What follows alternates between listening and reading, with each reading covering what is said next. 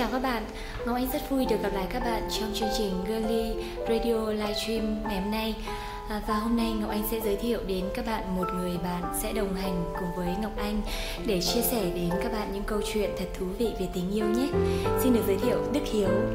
Xin chào tất cả các bạn, à, mình là Đức Hiếu và ngày hôm nay mình rất là vui khi được đồng hành cùng với Ngọc Anh à, và cùng với tất cả các bạn trong chương trình Girly Radio Livestream lần này.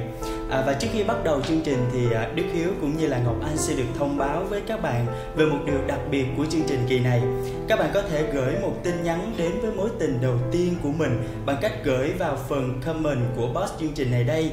Và đến cuối chương trình thì à, Đức Hiếu và Ngọc Anh à, sẽ thay các bạn mang những lời nhắn gửi đến những người kia của bạn. Ừ, à, Đức Hiếu nói như vậy à, có lẽ là chương trình của chúng ta hôm nay các bạn cũng phần nào biết được chủ đề rồi đúng không? À, chắc là chủ đề sẽ về mối tình đầu đúng không? Dạ, yeah, um, chính xác các bạn ơi và bây giờ thì chúng ta trước khi bắt đầu à, chủ đề trong chương trình ngày hôm nay thì có lẽ rằng là Đức Hiếu xin được phép hỏi Ngọc Anh à, một câu hỏi nhỏ thôi um, Ngọc Anh có thể chia sẻ cho Đức Hiếu cũng như là tất cả các bạn được biết về à, mối tình đầu của mình như thế nào hay không? Bởi vì thực sự là Đức Hiếu cảm thấy rất là thắc mắc không biết là với một cô gái xinh đẹp nè, hát hay nè, lại có một tâm hồn rất là nhạy cảm như Ngọc Anh thì à, chàng trai như thế nào sẽ lọt vào à, à mắt của Ngọc Anh à, và để trở thành một à, mối tình đầu của mình? Ừ. À, xin cảm ơn uh, câu hỏi của Đức Hiếu cùng với uh, những lời khen những lời khen dành cho Ngọc Anh. À, mối tình đầu của Ngọc Anh thì à, chắc là Đức Hiếu cũng biết đấy. À. bởi vì tụi mình học chung trường đại học mà. À, đó chính là mối tình đầu và mối tình của năm thứ nhất đại học. À, có thể là trước đó vào thời uh, trung học phổ thông thì uh, cũng có đôi lần có những rung động uh, với một bạn khác giới.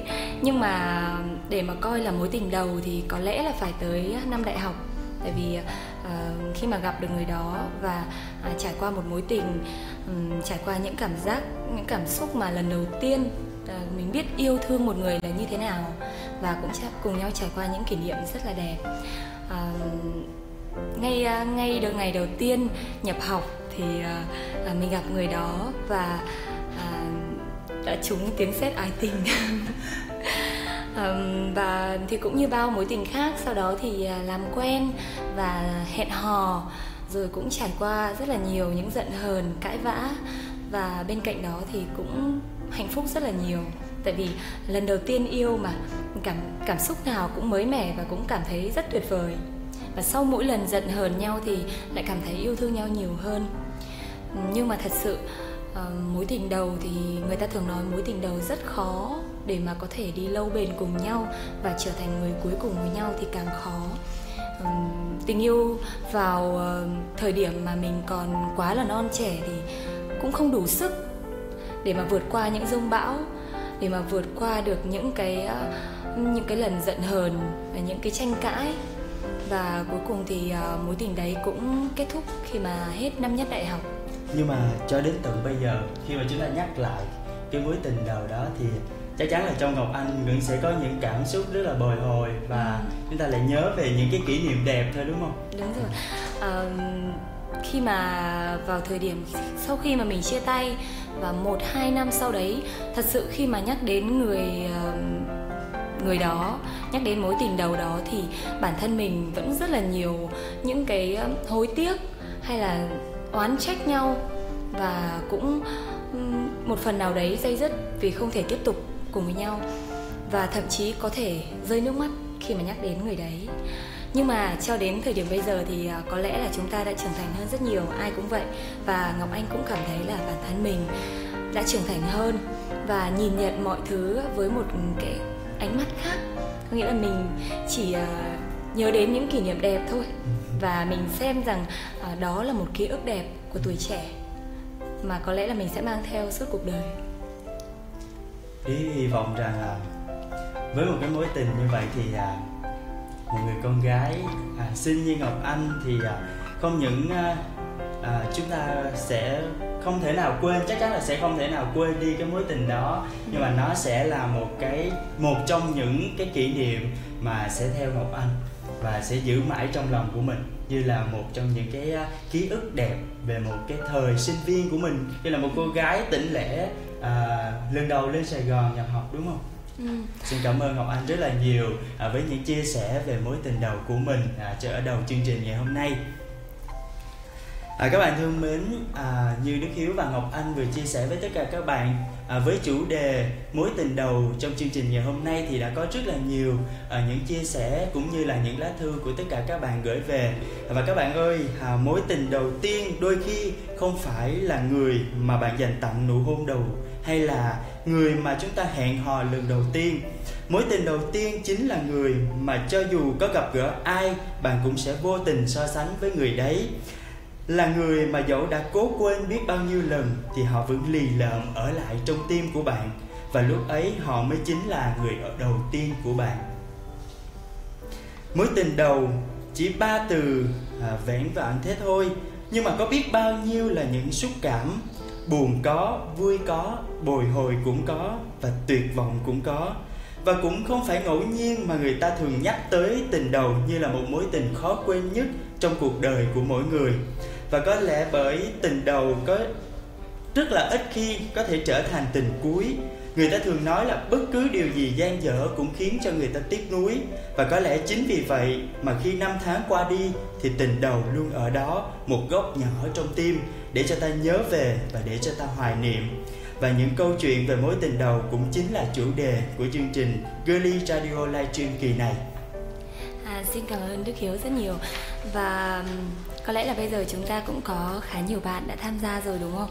Và ngọc anh sẽ gửi tặng cho các bạn một bài hát một bài hát về mối tình đầu. À, bài hát được mang tên mối tình đầu của mẹ tôi. Mời các bạn cùng đón nghe nhé.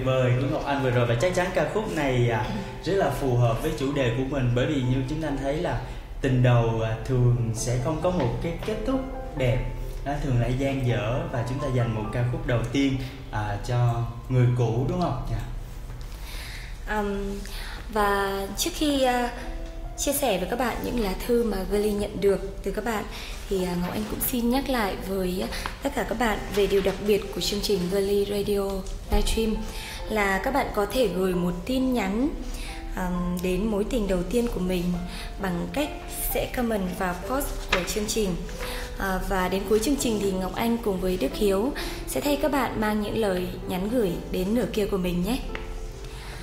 Lá thư đầu tiên được gửi từ một bạn có nickname là Yên. Ừ, cho phép Ngọc Anh được đọc lá thư này nhé. Thương sao mối tình đầu như trầu thắm buồn cau Thương sao mối tình đầu Như tầm xa xiết nhành dâu trong cuộc đời mỗi người Chắc chắn đều sẽ có một mối tình Mà ta nghĩ đó sẽ là mối tình cuối cùng. Nhưng rồi ta nhận ra Đó là mối tình để nhớ. Nhớ một đời không thể quên Đó là mối tình đầu. Tình đầu của tôi là một chàng trai đến từ biển. Chúng tôi quen nhau qua lời giới thiệu của một người bạn. Ừ, anh khi đó vừa chia tay bạn gái Còn tôi thì cũng vừa từ chối một lời tỏ tình. Ngày đầu gặp nhau tôi đã rất ghét anh. Cũng lần đầu gặp đó Anh đã quyết đưa tôi về tận nhà Mặc dù tôi đã cố hết sức từ chối. Vậy mà chỉ sau đó không lâu Tôi đã phải lòng anh. Đã có lúc tôi nghĩ đó là nhân duyên. Chúng tôi đã trải qua đúng nghĩa tất cả những khó khăn Về tinh thần và vật chất của những ngày còn là sinh viên. Vất vả làm thêm, tính toán tiết kiệm, cân nhắc từng khoản chi tiêu. Mỗi tối sau giờ làm, hai chúng tôi chỉ cho phép mình ăn mỗi đứa một ổ bánh mì, hai đứa cùng uống chung một ly nước mía hay một chai nước sâm. Ngày nắng cũng như ngày mưa, đâu cũng có nhau.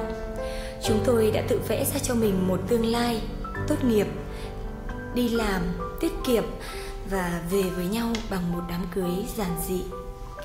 Nhưng rồi tất cả không như tôi mong đợi trong chính khoảnh khắc tôi nhìn thấy anh đứng chờ đón cô bé phục vụ anh quen Trong quán cà phê anh làm thêm, Tôi biết từ đây chúng tôi phải chấp nhận buông tay nhau rồi. Cuộc sống không phải lúc nào cũng đúng như những gì bạn lên kế hoạch, Đặc biệt là khi có tình yêu song hành trong cuộc đời. Bạn chắc chắn sẽ không bao giờ có thể biết trước được ngày mai. Bàn tay đang nắm chặt tay bạn hôm nay, Có còn đan siết nữa hay không? Tôi đã từng oán trách anh rất nhiều Từng đau, từng hận và từng nguyền rủa.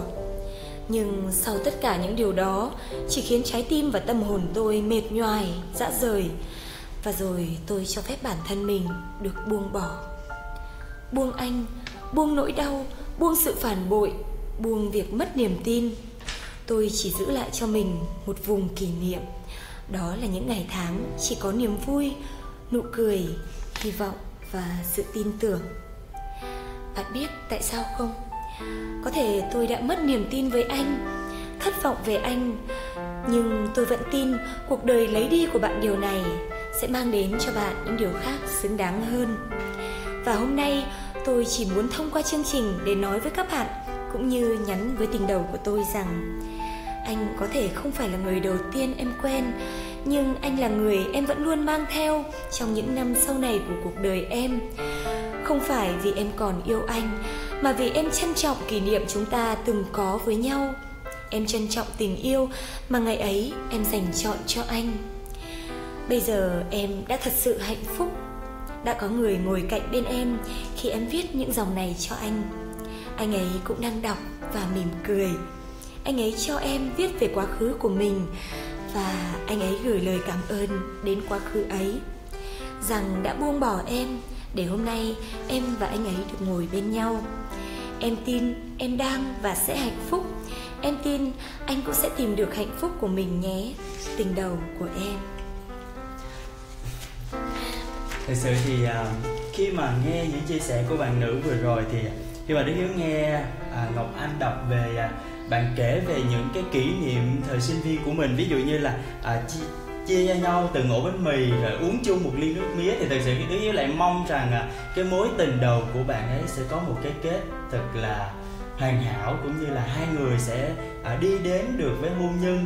À, ừ. nhưng mà khi mà tiếp tục nghe thì quả thật là cảm thấy rất là buồn. Nhưng mà không sao dù sao thì bây giờ bây giờ bạn đã cũng đã tìm được cái hạnh phúc thực sự của mình. Và điều may mắn hơn nữa là à, người yêu hiện tại của bạn là chịu ngồi nghe bạn kể và tâm sự về cái mối tình đầu một điều rất là đẹp đúng không? Ừ, à, đúng rồi trong cuộc đời thì à, chúng ta có thể sẽ gặp rất nhiều người. Và không phải là khi mà chúng ta gặp một người và có những kỷ niệm tốt đẹp với nhau nhưng mà người đó chưa phải là nhân duyên chưa phải là định mệnh của mình. Có thể là chúng ta chỉ có duyên thôi mà chưa có nợ. Thì à, một lúc nào đấy cũng sẽ phải buông tay nhau để mà chúng ta thật sự tìm được hạnh phúc của mình và xin chúc mừng bạn Yên à, đến thời điểm hiện tại thì bạn đã có hạnh phúc của riêng mình và cũng hy vọng à, rằng mối tình đầu của bạn cũng sẽ sớm tìm được hạnh phúc của mình nhé. À, Chúng ta vừa đến với một lá thư đầu tiên gửi về cho Girly và bây giờ thì à, Đức Hiếu xin được phép chia sẻ với tất cả các bạn về một lá thư tiếp theo à, của một bạn gái xin được phép giấu tên. Mối tình đầu của em là đơn phương. Nghe thì có vẻ buồn nhỉ, nhưng mà giờ nghĩ lại em vẫn cảm thấy không thể tin được. Không ngờ hồi đó em lầy dữ vậy luôn á. em và bạn ấy học chung lớp, năm lớp 10 mới vào là em đã tia thấy bạn ấy rồi em đổ liền ngay lúc đó và bạn gái này cũng dữ dội khi mà vào lớp học thì em nhất định phải ngồi cạnh bạn ấy thế mà trời xui đất khiến thế nào em là đứa lùn nhất lớp còn bạn ấy là đứa cao nhất lớp. Điều đương nhiên là chẳng thể nào ngồi chung với nhau được. Cơ mà ngồi đầu thì sao nhìn thấy phía sau được? Ngồi trong lớp học mà em cứ quay lại, quay xuống để nhìn bạn ấy hoài à. Mấy lần mém nữa là bị ghi vào sổ đầu bài luôn. Em cũng đâu có sợ. Nghĩ lại lúc đó em liều dễ sợ. Em đã đặt mục tiêu là phải theo đuổi bạn ấy. Nơi nào có bạn ấy là có em. Bởi thế, em được gọi là cái bóng của bạn ấy em cũng chẳng bận tâm luôn. Giờ nghĩ lại, em không thể tưởng tượng hồi đó trong đầu em chứa cái gì nữa. Hồi đó em chẳng biết bạn ấy có thích em không nữa, mà hễ cứ nhắc thấy tên em là bạn ấy chạy ngay, chạy đi ngay lập tức. Em nghĩ chắc là bạn ấy ngại, thế là em nghĩ ra đủ chiêu trò để tấn công bạn ấy nhiều hơn. Lớp nào bạn ấy đăng ký học đều có mặt em, nghe có vẻ ham học vậy thôi, chứ đi học có vào được chữ nào đâu. Chủ yếu là ngắm bạn ấy thế mà em tỏ tình chán chê, theo đuổi đủ kiểu mà bạn ấy không đồng ý. Lo chạy theo bạn ấy, em lơ là việc học. Thành thử ra kết quả cũng quá tệ. Ba mẹ kèm em chặt hơn. Em không thể tiếp tục theo đuổi bạn ấy nữa, Rồi học hết lớp 10 em cũng chuyển trường. Từ đó tới giờ em không gặp lại bạn ấy lần nào nữa. Không biết bạn ấy có còn nhớ tới em không nhỉ? Hi hi. Dù sao thì à, em chỉ muốn kể cho mọi người nghe câu chuyện của em Để biết được rằng không phải lúc nào đơn phương cũng buồn Và không phải lúc nào được yêu cũng hạnh phúc. Đời có bao lâu đâu vui lên đi nhé. Nghe đức hiếu à, đọc lá thư vừa rồi thì à, tự nhiên ngọc anh lại nhớ đến cái thời à, cấp ba của mình. Nhưng mà mình không như bạn gái đấy đâu tại vì à, mỗi ngày đến lớp thực sự là rất là có động lực tại vì mình mình rất là nhớ rất là thích bạn đấy. Nhưng mà khi đến lớp thì à, tại vì bạn đấy học giỏi lắm. Nên là ngọc anh cũng đã cố gắng rất nhiều để mà à, làm sao để mình cảm thấy mình xứng đáng với họ. Nên mình cũng đã cố gắng. Và um, hy vọng rằng là à, các bạn các em à, bây giờ đang à, học cấp 3 hoặc là đang là sinh viên à, chúng ta có thích ai hay yêu ai thì à, hãy bày tỏ lòng mình nhé đừng để cơ hội vụt mất như là bạn gái trong lá thư này và chúng ta cũng bên cạnh đó thì vẫn phải cố gắng học tập thật đúng tốt rồi. đúng không? Chúng ta hãy uh, lấy người uh, bạn đó là mục tiêu cho động mình, lực. Uh, động lực cho mình. Ví dụ như bạn đó nếu như học giỏi quá thì chúng ta sẽ cố gắng học làm sao để giỏi giống như bạn ấy để có thể xứng đáng uh, cho cái tình yêu đẹp đúng không? Nhưng mà dù sao thì uh, câu chuyện của bạn uh, gái giấu tên này chắc là cũng đã qua đi lâu rồi và bây giờ bạn ấy đang nhớ lại. Cũng có thể là giờ bây giờ bạn đang rất hạnh phúc bên một người nào đó bởi vậy cho nên là thấy bạn ấy kể chuyện một cách rất là thoải mái đúng rồi. nha. Mà chúng ta đọc cũng cảm thấy rất là vui mặc dù chắc chắn là hồi trước bạn này cũng sẽ cảm thấy rất là buồn. Khi ừ. mà bị anh chàng này từ chối nhưng mà bây giờ thì chúng ta đọc lại thì cảm thấy rất là à, vui nhộn với lại cái cô nàng này. Và chắc chắn đây là một cô nàng rất là cá tính. Um, cảm ơn à, Đức Hiếu với à, lá thư vừa rồi và à, trước khi mà tiếp tục chia sẻ lá thư thứ ba đến các bạn thì Ngọc Anh xin được nhắc lại một lần nữa là trong chương trình radio livestream thì các bạn có thể gửi những tin nhắn bằng cách là các bạn sẽ comment vào trong post của chương trình này và lát nữa thôi thì Ngọc Anh và Đức Hiếu sẽ thay các bạn gửi những lời nhắn đó đến một ai đó và cũng có thể là người đó sẽ đang xem livestream này nhé. Lá thư thứ ba là một lá thư rất ngắn được gửi từ một cô gái có địa chỉ email là color of life amok yahoo.com Ngọc Anh ơi à, tự nhiên khi mà sau khi đứa yếu nghe đọc hai lá thư xong thì à, đứa lại muốn à, chúng ta tạm à, ghét như lá thư ba một chút xíu và chúng ta hát à, một bài để tặng cho các bạn khán giả. Chúng ta thay đổi không khí một chút xíu được không? Trước khi chúng ta đến với lại những lá thư tiếp theo ừ. Ok, vậy thì à, chúng ta sẽ cùng à, đến với một ca khúc nữa và cũng là để cho có thêm thời gian chờ đợi các bạn khác cùng à, vào tham gia với chúng ta nhé. Hồng Anh sẽ gửi tặng các bạn ừ, một ca khúc. Các bạn hãy cùng nghe ca khúc này và xem là cái lời bài hát này có đúng hay không nha. Ừ.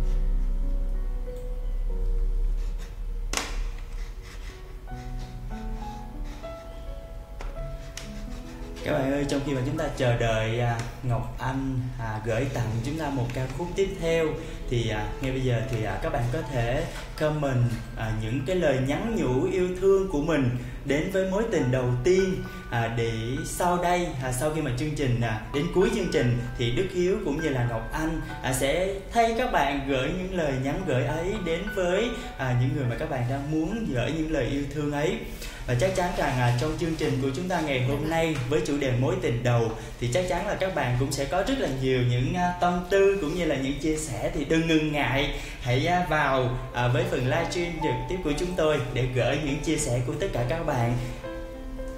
Ừ. À, và bây giờ Ngọc Anh sẽ gửi tặng đến các bạn một ca khúc chắc là cũng khá quen thuộc mà trong thời gian vừa rồi chúng ta đã nghe rất nhiều à, một sáng tác của nhạc sĩ Thái Thịnh. À, các bạn biết là nhạc sĩ Thái Thịnh có sáng tác cho ca sĩ Lệ Quyên rất nhiều những ca khúc à, về tình yêu, những ca khúc trữ tình nhưng mà đây là một ca khúc đặc biệt à, mà à, ông đã sáng tác um, nhưng mang âm hưởng bolero. Bài hát duyên phận. xin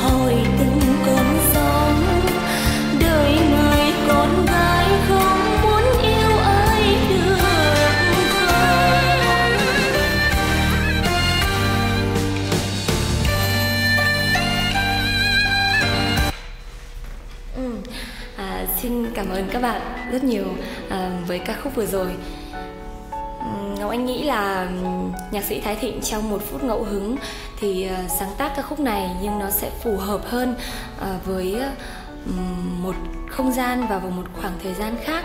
Còn uh, đối với chúng ta bây giờ thì có lẽ là không có cô gái nào mà sợ yêu đúng không? Giống như câu hỏi cuối cùng của bài hát là đời người con gái không muốn yêu ai được không? Người ta nói là yêu thì khổ mà không yêu thì lỗ. Thà chịu khổ chứ không chịu lỗ.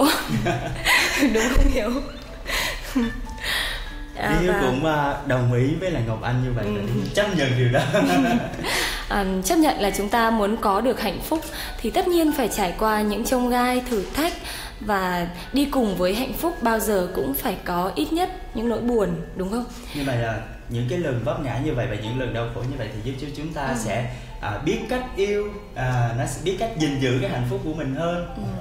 à, đúng là như vậy và bây giờ ngọc anh sẽ chia sẻ là thư thứ ba nhé Ừ, người ta thường nói mối tình đầu là mối tình đẹp nhất, là mối tình giang dở nhưng chứa đựng tất cả những nhiệt huyết trong sáng của tuổi trẻ và cũng là mối tình để lại những ký ức hằn sâu khó quên nhất.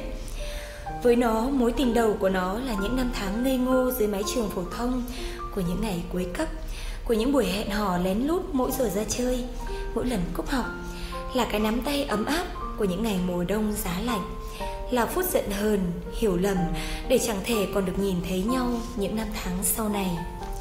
Những kỷ niệm buồn có, những kỷ niệm vui cũng không thiếu. Đó có lẽ là những điều tạo nên một mối tình khó quên trong lòng nó.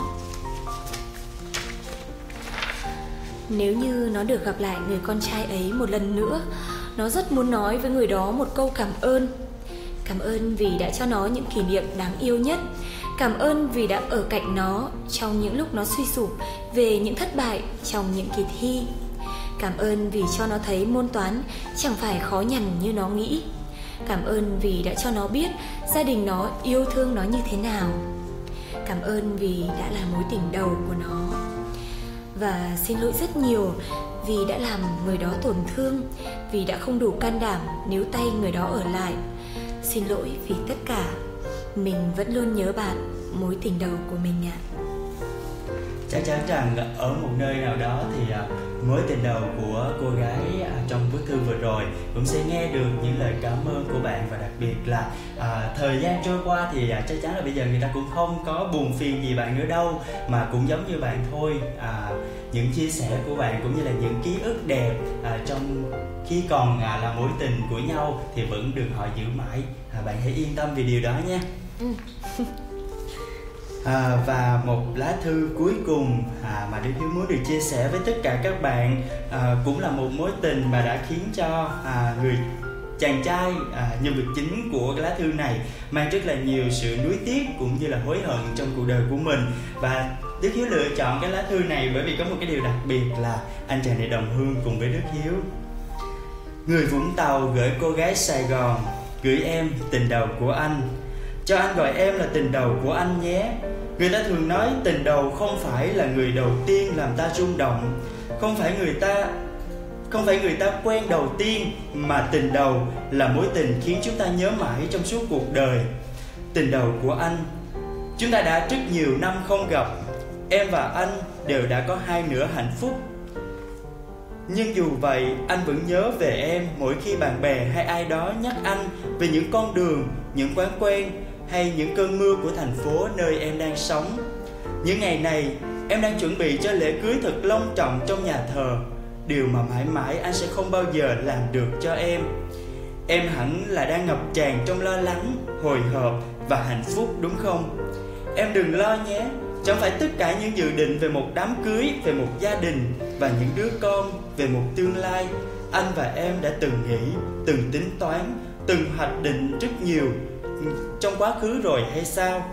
Bây giờ chỉ khác là không phải cùng anh, mà là chồng hiện tại của em. Em đừng hoang mang quá nhé. Em hẳn sẽ là một cô dâu rất xinh trong ngày trọng đại ấy. Em hẳn sẽ là một cô vợ rất giỏi, dù có hơi biến nấu ăn. Nhưng không sao, anh tin chồng của em sẽ yêu thương tất cả những khuyết điểm ấy, và em là một cô gái tốt. Mà anh không biết gìn giữ em những ngày này anh thường chở cô gái của anh vòng quanh những con đường Vũng Tàu, leo núi hay ăn cá viên dọc biển và uống nước mía đường Lê Lợi. Em nhớ chứ tình đầu của anh. Em có nhớ tất cả những kỷ niệm của thành phố biển này hay không? Anh sẽ nhắc em về một chiều Vũng Tàu nhạt nắng. Có cô gái đã đứng nhìn anh khóc. Ừ thì anh không được cứng trắng như cô ấy. Hay vì anh đã làm sai, anh đã gây ra lỗi lầm quá lớn đối với em anh đã để tâm hồn mình lững lơ trong cơn say nắng. Anh nhớ rất rõ em hôm đó. Đôi mắt dịu dàng của người phụ nữ đầy bao dung Sẵn sàng tha thứ cho lỗi lầm của anh. Anh sẽ dành hết. Em đã kéo anh lại, ôm anh, xoa nhẹ vai anh. Khoảnh khắc đó anh tin và hứa với lòng mình rằng Suốt cuộc đời anh chỉ có duy nhất một mình anh anh sẽ dành hết tất cả tuổi trẻ, tuổi trung niên và tuổi già của mình để yêu em, bên em, chăm sóc và bảo vệ em. Anh hứa sẽ không bao giờ làm em phải rơi thêm bất kỳ một giọt nước mắt nào nữa. Nhưng cũng chính trong khoảnh khắc đó, sau cái ôm nhẹ nhàng đầy bao dung đó, em đã đẩy anh ra. Em nói, em tha thứ cho tất cả những tổn thương anh đã gây cho em. Anh đừng dằn vặt bản thân mình nữa và hãy sống một cuộc sống thật tốt vì em sẽ không ở lại bên cạnh anh nữa. Đó là câu nói khiến cho anh hối hận đến tận bây giờ vì đã lỗi lầm với em. Em có còn nhớ buổi chiều ngày hôm đó không? Xin lỗi em, đó là tất cả những gì anh muốn nói với em. Và hôm nay, anh nghe cô bạn của chúng ta kể về em. Cho anh xem hình của em thử váy cưới mà em gửi cho cô ấy. Anh đã khóc.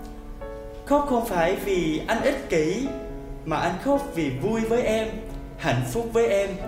Khóc vì à, anh đã không có quyền để được cùng em sánh bước trong lễ cưới mơ ước của chúng ta. Anh xin lỗi em. Xin em hãy sống hạnh phúc. Và nếu có thể hãy quên những tổn thương mà anh đã gây ra cho em trong quá khứ. Để nếu vô tình ai đó nhắc về anh em hãy chỉ nhớ đến những kỷ niệm thật ngọt ngào của chúng ta được không em?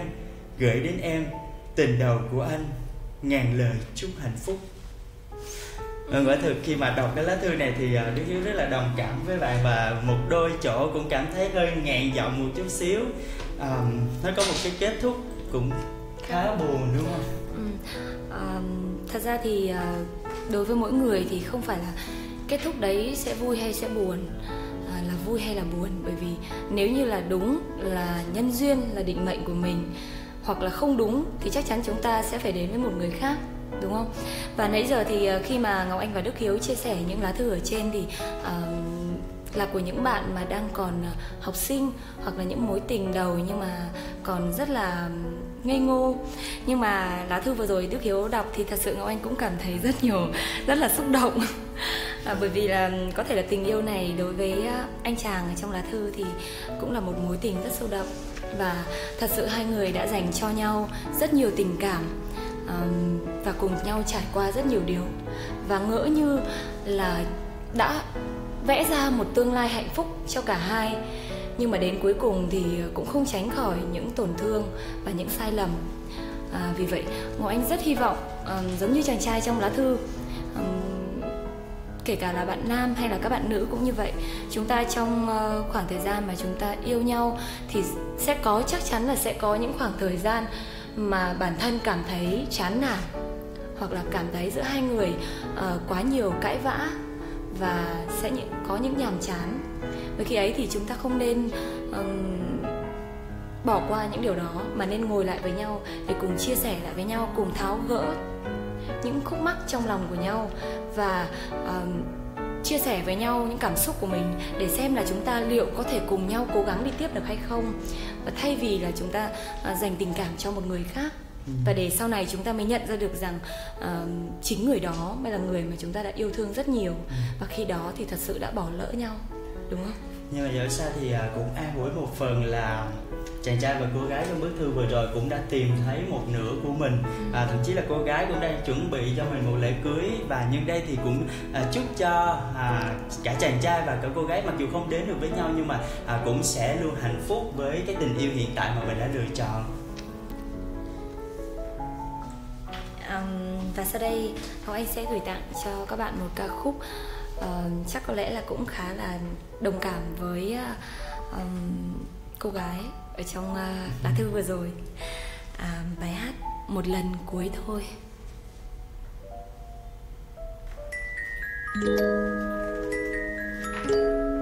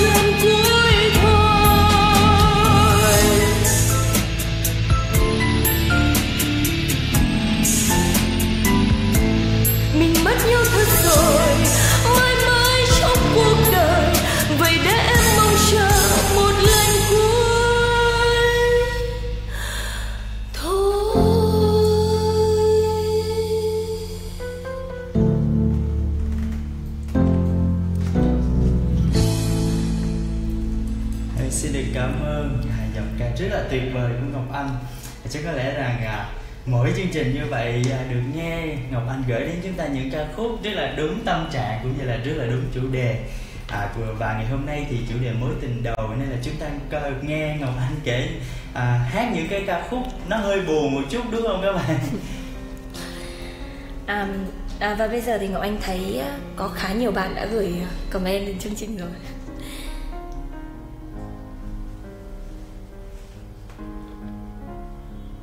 Có rất là nhiều những tâm sự của các bạn gửi về cho chương trình.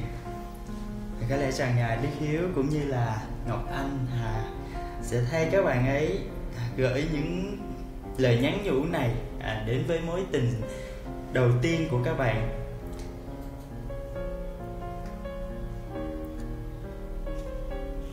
Ừ, à, mình thấy à, bạn Trần Nga đã gửi một à, tin nhắn khá là dài.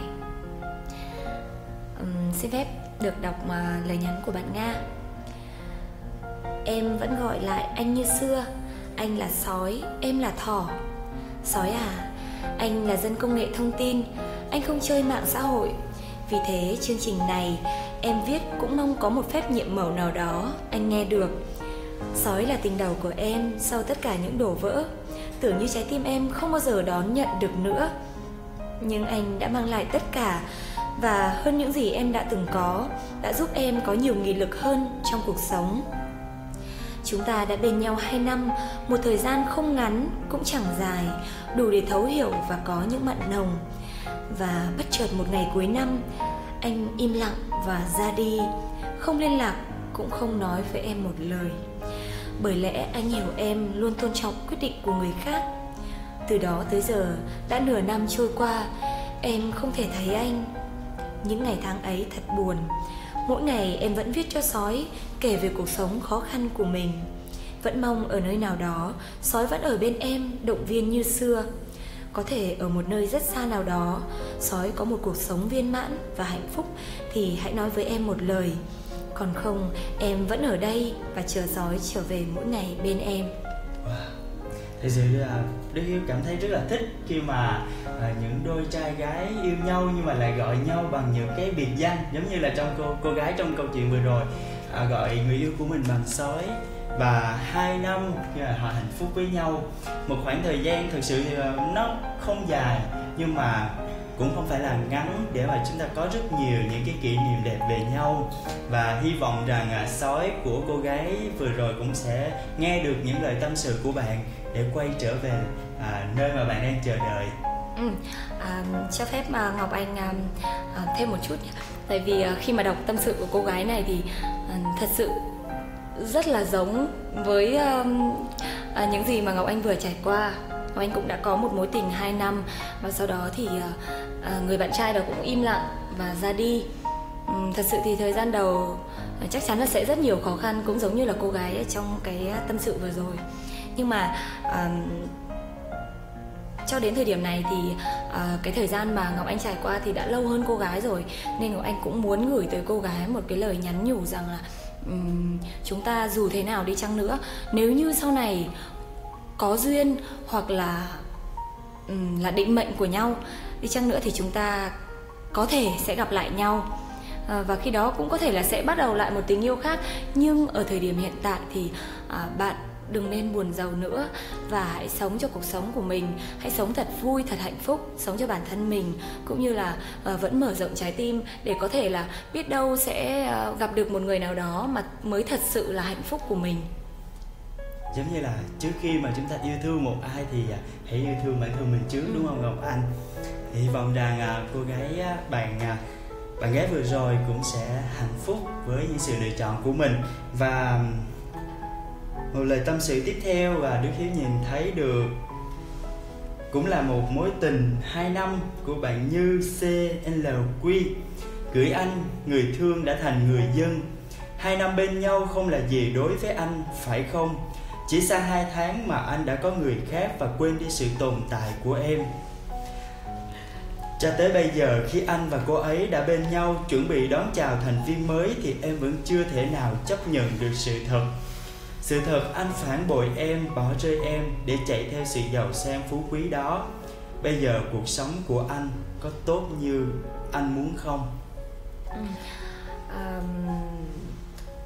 ngọc anh nghĩ rằng là uh, cho dù là cuộc sống của bạn trai đó bây giờ có tốt hay không đi chăng nữa thì thật sự bản thân mình bản thân bạn cũng không nên là quan tâm đến điều đó quá nhiều nữa. Uh, bởi vì là uh, khi họ đã tìm được hạnh phúc của họ bản thân họ có đang hạnh phúc hay không, họ sẽ là người hiểu rõ hơn ai hết và chúng ta sẽ chẳng thể nào thay đổi được điều gì nữa rồi. Và thay vì việc chúng ta cứ tiếp tục quan tâm xem là họ có hạnh phúc hay không, vậy thì tại sao chúng ta không tự hỏi mình, tôi có đang hạnh phúc hay không?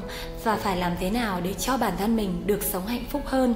Hãy yêu thương bản thân mình, hãy ngày, mỗi ngày hoàn thiện bản thân mình hơn nữa, để khi chúng ta có thể gặp được một người đàn ông tuyệt vời hơn là người cũ và à, bởi vì là người à, bạn trai của bạn đã, đã đã có gia đình và chuẩn bị đón thành viên mới nên là Ngọc Anh muốn à, được gửi một lời khuyên nho nhỏ đến với bạn Như à, và hy vọng là bạn sẽ um, vui vui tươi hơn cũng như là uh, yêu um, yêu bản thân mình hơn chăm sóc mình hơn hoàn thiện mình hơn và sẽ sớm tìm được hạnh phúc của mình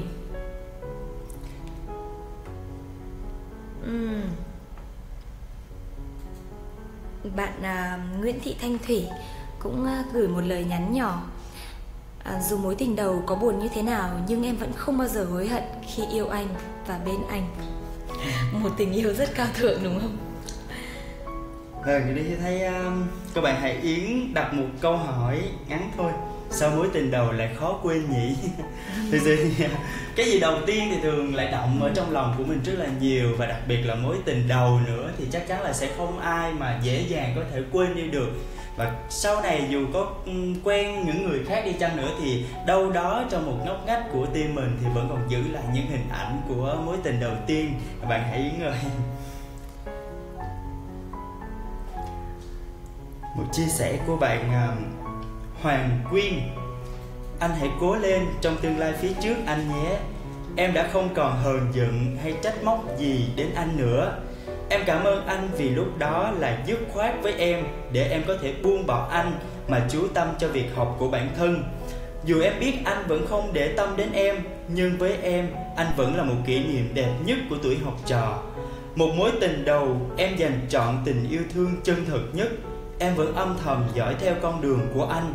Em chỉ mong anh sẽ chăm sóc tốt cho sức khỏe của bản thân và hãy cố gắng đậu tốt nghiệp trong kỳ thi sắp tới anh nhé.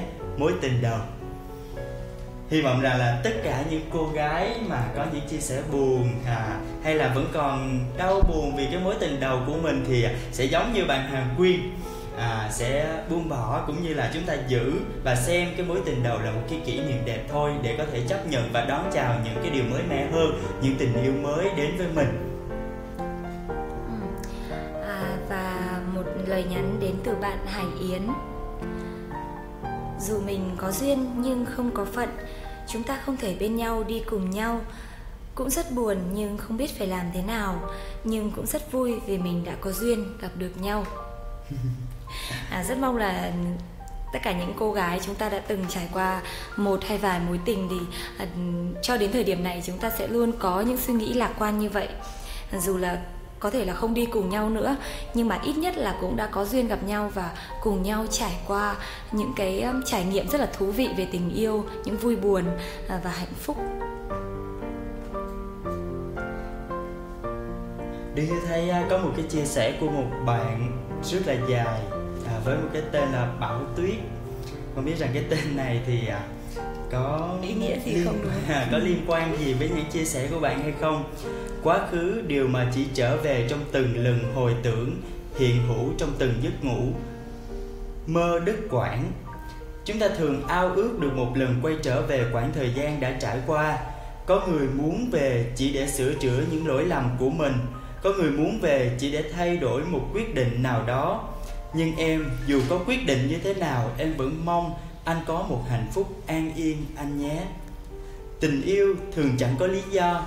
Trái tim cũng không muốn giải thích vì sao mình lại yêu, vì sao lại giữ một chút tình ngọt nhạt vì sao chúng ta lại chẳng thể đến với nhau. Nhưng duyên không phận, âu cũng đành anh à. Mãi mãi hạnh phúc ở nơi cuối con đường, dẫu không có sự đồng hành của em, anh nhé mặc dù à, cái tên thì nghe nó hơi lạnh đúng không? Bảo tuyết nhưng mà những chia sẻ thì rất là ấm áp và cảm ơn à, những chia sẻ của bạn. Và chắc chắn rằng à, mọi người cũng sẽ đồng cảm với bạn. Và à, nếu như mà bạn à, mối tình đầu của bạn. Nếu như có nghe được cái lời nhắn này của bạn thì chắc chắn là trong lòng cũng cảm thấy rất ấm áp và rất hạnh phúc. Chính xác. Bởi vì là mình từng là... có một người yêu như thế. Tiếng vừa nói rất là cảm thấy rất là hạnh phúc khi mà mình đã từng yêu được một cô gái như vậy. Ừ, và có thể là mình không phải là người để tiếp tục đồng hành hạnh phúc với cô à. gái ấy nhưng chắc chắn sẽ có một chàng trai tốt hơn mình. Chính xác. Um, bạn Hương Win cũng có gửi à, một tin nhắn nhỏ. Trước anh đã từng có người chạm vào trái tim em Nhưng anh, người em chờ đợi 3 năm Dường như mới chính là mối tình đầu Là thanh xuân, là yêu thương không trọn vẹn. Ban đầu khi mà Ngọc Anh mới đọc thì Ngọc Anh nghĩ là cái người này chờ đợi và sau đó đã trở thành à, một mối tình của nhau hiện tại. Nhưng à, bạn nói là yêu thương không trọn vẹn. Ừ. vậy là có thể đây là một mối tình đơn phương đúng không chờ đợi suốt 3 năm nhưng mà à, cuối cùng thì lại không có lời đáp thì cũng rất là đáng tiếc.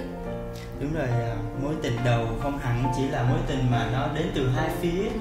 thậm chí nhiều khi là sự à, đơn phương như thế này thôi nhưng mà chúng ta vẫn sẽ nhớ hoài. Nó vẫn sẽ là một cái kỷ niệm à, khó quên đối với một ai đó ví như là bạn Hương Quyên.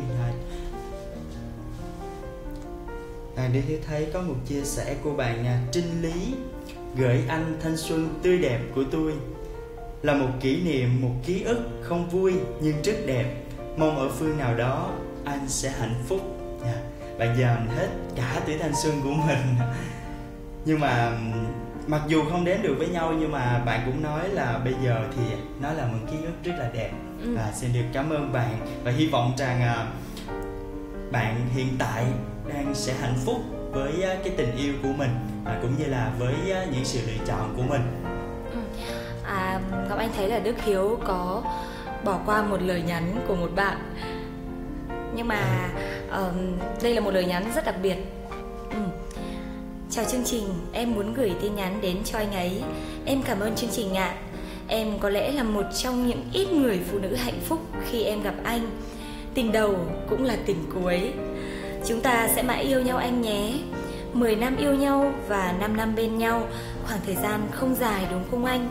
Nhưng chúng ta vẫn giống như ngày đầu anh nhỉ? Mãi yêu anh. Ngọc Anh cảm thấy rất ganh tị Thật sự là Hiếu không phải bỏ qua cái uh, uh, comment này đâu mà bởi vì là hiếu muốn rằng để cho người uh, bạn nữ này đọc cái comment này. Bởi vì từ nãy đến giờ khi mà từ đầu chương trình đến giờ chúng ta thấy á những chia sẻ về mối tình đầu của mình á thường rất là buồn. Nhưng mà nãy giờ thì mới có được một cái mối tình đầu có kết thúc rất là đẹp có hậu đúng không? Ừ. cho nên là thôi thì để một cô gái à, sẽ thay lời cho một cô gái trong câu chuyện này chia sẻ với chúng ta về cái comment đó. Và cũng không quên gửi lời chúc mừng đến với lại bạn Thanh Nguyễn khi mà bạn đã có một cái kết thúc rất là đẹp à, cho cái mối tình đầu của mình. Và hy vọng mà sau này sẽ có được nhiều những mối tình đầu có cái kết thúc giống như bạn. Ừ, gửi lời chúc mừng đến bạn Thanh Nguyễn và cũng gửi lời à, chúc mừng đến cả nửa kia của bạn ấy nữa đúng không? Và rất là hy vọng là à, một nửa của bạn sẽ à, nhận được lời nhắn này. Và hai bạn sẽ luôn luôn hạnh phúc luôn luôn yêu thương nhau và cùng nhau đi đến hết con đường một chia sẻ của một bạn nữ có nickname là tóc ngắn, gửi cậu nhân huỳnh. Nếu nói cậu là người đầu tiên tớ yêu thì không phải, nhưng cậu là người đầu tiên tớ gặp đã yêu. Và khi yêu cậu, tớ đã dành tất cả cho cậu hơn cả mối tình đầu. Và khi mà chúng ta chia tay hơn 3 năm qua, vị trí của cậu trong lòng tớ không ai thay thế được. Thế nên với tớ, tình đầu không quan trọng quan trọng là tớ đã yêu cậu như yêu lần đầu. Tớ vẫn dõi theo cậu mỗi ngày và biết cậu hạnh phúc thì tớ an lòng rồi. Chúc cậu luôn luôn như bây giờ cậu nhé. Tình đầu của tớ. Wow một cô gái rất là tuyệt vời. Và mặc dù là không thể tiếp tục với lại à, tình yêu của mình nữa nhưng mà vẫn dõi theo người ấy hàng ngày. Và thậm chí là còn chúc phúc cho uh, người con trai ấy. Và hy vọng là uh, trong tương lai biết đâu uh, mình cũng sẽ được gặp một cô gái giống như vậy. Chắc chắn là hiếu sẽ gặp. Bởi vì hiếu cũng là một chàng trai rất tuyệt vời. Dạ cảm ơn ngọc anh. Show này không phải là show để cho chúng ta khen nhau. À, và một chia sẻ nữa từ bạn Thụy Vi 11 năm bên nhau, Cứ ngỡ là định mệnh của nhau, Nhưng chúng mình lại không thể là một nửa của nhau. Em bước đi không phải vì không còn yêu nhau nữa, Mà vì mình đã không thể hàn gắn. Trái tim anh lỗi nhịp, Em không còn là ưu tiên số một trong lòng anh. Em không muốn níu kéo ngày xưa, Dành cả thanh xuân cho nhau, Là em hạnh phúc rồi. Anh bây giờ bên người mới hạnh phúc nhé một tâm sự khá buồn đúng không à, 11 năm cũng là một khoảng thời gian khá dài và chắc hẳn là trong lòng bạn Thụy Vi bây giờ cũng đang có rất nhiều cảm xúc đúng không? À, cũng xin được chia sẻ với bạn và không gì hơn là xin được gửi đến bạn một lời chúc và rằng là bạn sẽ tìm được một người mà mang lại hạnh phúc thật sự cho bạn cho đến à, suốt cuộc đời và mình tin chắc chắn rằng với một cô gái tình cảm như bạn và bằng một trái tim yêu thật lòng nữa thì chắc chắn bạn sẽ có được hạnh phúc. Hiếu cũng tin điều đó sẽ đến với tất cả các bạn à, đang xem chương trình ngày hôm nay. À, và có thêm một chia sẻ của bạn Linh Phạm. Mối tình đầu cảm ơn anh vì tất cả yêu thương vui buồn tất cả những kỷ niệm đẹp mà anh đã dành tặng riêng em. Em biết trong cuộc sống không như ta mong đợi. Em biết duyên nợ là do trời cao nên em không thể oán trách điều gì giờ đây chúng ta đã cách xa nhau đã có bến bờ hạnh phúc của riêng mình. Tất cả cũng đã trở thành quá khứ. Một quá khứ vui buồn và có cả những tổn thương làm trái tim em không thể nào quên được. Giờ đây tổn thương đó vẫn mãi bên em. Mối tình đầu hạnh phúc và bình yên anh nhé. Um, chắc là các bạn trong cuộc sống hàng ngày để khi mà mình đang hạnh phúc bên một người mới thì các bạn cũng không nghĩ nhiều như là hôm nay khi mà xem chương trình của chúng ta đúng không chúng ta gợi lại cho các bạn cũng như là tạo cơ hội để cho tất cả các bạn chia sẻ à, về mối tình đầu của mình. Bởi vì chắc chắn trong cuộc sống hàng ngày thì chúng ta không có nhiều cơ hội để có thể chia sẻ và nhớ về những cái kỷ niệm. À, mặc dù các bạn chia sẻ có buồn đó nhưng mà đức hiếu tin chắc rằng à, khi mà nhớ về mối tình đầu thì ai cũng sẽ một có một cái mỉm cười và Ngọc Anh nghĩ là à, khi mà chúng ta hoài niệm về những điều cũ thì đó cũng là một điều tốt cho hiện tại bởi vì chúng ta có thể à, chiêm nghiệm ra được rằng ở trong quá khứ mình đã làm sai điều gì hoặc mình chưa đúng điều gì hoặc là có thể là mình xứng đáng nhận một điều tốt hơn như thế yeah. Dạ. hoặc là bây giờ mình à, biết cách để yêu thương người bên cạnh mình hơn cũng như là mình trân trọng cái hạnh phúc hiện tại mình đang có hơn đúng không? Đúng rồi và chúng ta sẽ có rất là nhiều những định nghĩa về mối tình đầu của mình à, các bạn thân mến tình yêu đôi khi cũng chỉ là một người à, đã đi xa một người vội vã ngang đời à, rồi mang đi hết những ngọt lành hay thương nhớ để người ở lại cứ đau đớn nhìn theo. Hay là với một số người thì à, mối tình đầu là người đầu tiên đến và ra đi khiến trái tim của họ tan vỡ. Đó có thể là người đầu tiên và cũng là người cuối cùng mà họ yêu tha thiết. Với một số người thì à, mối tình đầu là cái nhìn trộm vụng về rồi à, chớp nhoáng là cái nắm tay bẽn lẽn ngại ngùng là nụ hôn đầu tiên vụng dại bỡ ngỡ là những bỏ ngỏ còn dở dang. Một số người khác thì à, mối tình đầu là người đầu dạy cho họ cách buộc phải buông tay là mối tình mà cho họ đầy đủ những cái cung bậc cảm xúc hân hoan hờn giận trách cứ chia xa và rồi biết tiếp. À, một số rất ít khác Tình đầu dù là những rung động đầu tiên nhưng cũng là một nửa kề cạnh họ suốt đời. Chắc hẳn số ít này cũng là những người may mắn và thật sự hạnh phúc. Những lần đầu vốn thường quá khó để quên, nên từ đó về sau, tình đầu vẫn sẽ là mối tình đẹp nhất. Thật nhận tâm nếu bắt ai đó buông bỏ ký ức về một chút tình xưa, về một thời xa vắng nhưng mối tình đầu cứ thế sống mãi với thời gian cho dù nhân vật chính đều đã tìm được một người để gọi tên hạnh phúc. Để mãi vẫn nhắc về nhau như một thời đẹp nhất thời ai đó là tất cả của ai. Các bạn thân mến um, thời lượng của chương trình không cho phép nên Ngọc Anh và Đức Hiếu cũng không thể gửi được hết tất cả những lời nhắn của các bạn à, đến với nửa kia mối tình đầu của mình. À, nhưng mà hy vọng là trong những số tiếp theo của Girly thì à, các bạn sẽ tiếp tục theo dõi và gửi những thông điệp à, theo như chủ đề của chúng ta trong chương trình. À, và Ngọc Anh và Đức Hiếu cảm ơn các bạn rất nhiều vì đã dành thời gian lắng nghe và chia sẻ những cảm xúc còn đọng lại trong hồi ức của mình về mối tình đầu. Còn bây giờ thì à, Đức Hiếu và Ngọc Anh xin được chào tạm biệt tất cả các bạn và hẹn gặp lại các bạn trong chương trình lần sau. Ừ, và có thể là à, cuối chương trình thì Ngọc Anh xin được gửi tặng cho các bạn thêm một ca khúc nhé. À, nãy giờ hát rất nhiều những ca khúc buồn à, bây giờ sẽ hát một ca khúc à, hạnh phúc hơn một chút để gửi tặng cho các bạn. Và mong rằng tất cả những bạn mà đang theo dõi à, uh, Girly Radio livestream ngày hôm nay sẽ tìm được hạnh phúc của mình. Và đó cũng chính là lời chúc của chương trình ngày hôm nay gửi tặng cho tất cả các bạn. Xin được gửi tặng đến các bạn ca khúc ánh nắng.